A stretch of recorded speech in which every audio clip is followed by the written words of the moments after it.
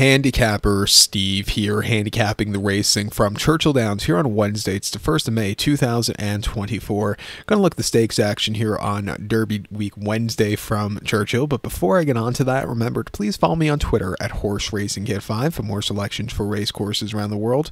And also join me throughout the week for some more Churchill previews and also Friday, Saturday for the big one, the Kentucky Oaks and Kentucky Derby. My preview should be up very soon. I'm hoping my Oaks video should be up uh, tomorrow. Derby video video Wednesday night, early Thursday morning. But um, join me for that. And also the Guineas from Newmarket. So some classics on both sides of the pond this weekend. But let's look at the stakes races here on this Wednesday program. Races 8 and 9. Some good ones here. So let's get to it right now. The eighth race from Churchill. It's the Isaac Murphy Marathon overnight. It's going for a purse $200,000. Race four year olds and upwards. We have a field of eight horses going 2,400 meters or a mile and a half on the Churchill main track. My top selection here, I'm going to go with the number two horse, Nautical Forever. 2374 for me in the Superfecta. 2374 Super, top selection, two horse, Nautical Forever. Four Colt by Pioneer the Nile. Todd Pletcher trains this one. Irad Ortiz Jr. gets to mount. The horse's most recent outing came in the grade 3 Ghostzapper at Gulfstream, mile 16, 30th of March. Second off the bench first time stakes quality horses. This horse finished fifth by six and a quarter lengths and had a very wide poster, which probably cost him that day. He was very wide. He was very flat late. Il Miracolo just really took off clear. But this horse, he just got beat by better horses, and not better horses on the day, but just got a you know got beat by a you know a horse that freaked that day. Coming to a mile and a half where he could slow it down, could be forwardly paced. I think he has the stamina to win against these horses. Off the long refreshing at Gulfstream on the slop, mile 16 and off 25 in February, he won by a neck that day, and he had a you know he he got out of the gate clearly. Clearly, he stalked all the way around the race course. He was a little bit wide late, but that's where he wanted to be on the sloppy track, and he got the job done. A good gritty performance for him that day. And then on debut, he ran terrifically at Belmont last June, mile 16th in the main specialway on the dirt, winning by four and a quarter lengths. He, he didn't get out of the gate so clearly, but after that, he put on a show. He settled back early. He slowly moved his way to the front end. When he got the job done, he flew home clear late. That was a very good run. Training quite well Palm Beach. I'm going to give him a shot here at 20 to 1 on the ticket.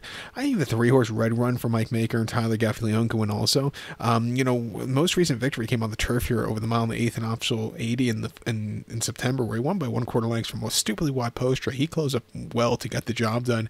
Came back to run the Sycamore on the turf, where he ran an okay fourth. And then in the uh, River City here in the fall, he just, I don't think he liked that turf course. A lot of horses weren't handling turf in the fall. Came back a few weeks ago in the Temperance Hill over the mile and a half at Oaklawn, where he had a decent fourth place finish that day, but he was a little bit wide that day also. Coming here, you know, he ran this one last year where, where he ran a very good place behind um, Warrant. I'm going to give him a shot here on the ticket. Um, you know, he, he likes these longer trips. Doesn't start on dirt very often, but when he does, he always runs these sneaky good races. And don't throw out the seventh horse next for the Juan Machado and um, William Cowens won the uh, Greenwood Cup at Parx over the mile and a half on a very sloppy go by over two dozen lengths. Won the Birdstone by half a dozen. Won the Brooklyn easily and won the and finished third in this race last year. That was the only subpar race for his form last year. Other than that, he's been pretty perfect over these longer trips to ground. Four to five. I know it's a crap price, but he could win. Let's use him on the ticket. But to recap my selection for the eighth now from Churchill, it's Isaac Murphy Marathon. I'm going to take the two horse Nautical Forever. Give kudos to the three horse Red Run and the seven horse Next. Two, three, seven. Uh, 2374 Super, 237 in the multi race. Let's get to the featured ninth race now from Churchill, which is the William Walker Stakes. It's going for a purse of $300,000 race for three year olds here. We have a field of 15 horses entered 13, 14, 15 RAEs, so a dozen will go to the Matt Winn Turf Course, the 1100 meter journey, or five and a half furlongs on that turf course. I'm going to take the 10 horse Running Rocket as a top selection. 10 6 4 1 for me in the Superfecta. 10 6 4 1 Super, top selection 10 horse Running Rocket, 3 Colt by War Front, Brian Lynch trains, Tyler Gaffley Gaffalione gets the mount. The horse is most recent outing came at Gulfstream, 23rd of February, uh, 23rd of uh, March, five furlongs off turf in the Texas Glitter Stakes, and the horse finished second by a half a length that day, and he, he just kind of stalked that day. He didn't change his lead that day, and he just really couldn't, you know, was just a little lackadaisical that day. I think with a strong pace, he's gonna have to overcome a wide poster, but I think with a st- strong pace, he could really get a good trip to close up with too. He's not going to be with him early on, I don't think, in this race. I think they're slightly speedier horses. Two back over the seven and a half at Gulfstream and Optional 75. He finished fourth by one quarter lengths that day, and he just kind of stalked early on, then weakened out of it. I don't think he wants to go seven and a half. And then 21st December at Gulfstream uh, over the five in optional 75, first time winners. He finished fourth by one quarter lengths that day.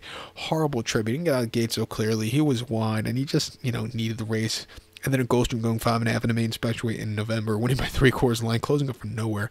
I thought that was a very good race. Like I said, he'll probably see a good pace to close up into.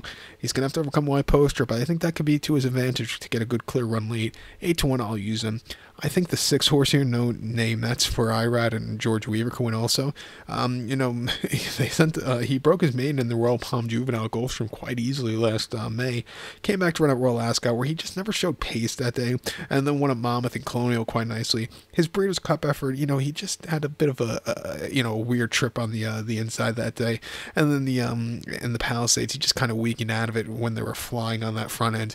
He's refreshing here, second off the bench. He should be a lot um, cranked up a lot better than he was at Keeneland, and even the four horse here Refuel, um, you know, in that Palisades he had a very wide poster which cost me. If a better poster I would have won, but he, he ran his heart out that day, and then his races over the five at Gulfstream over the winter weren't bad at all. He's refreshing here also at seven to two.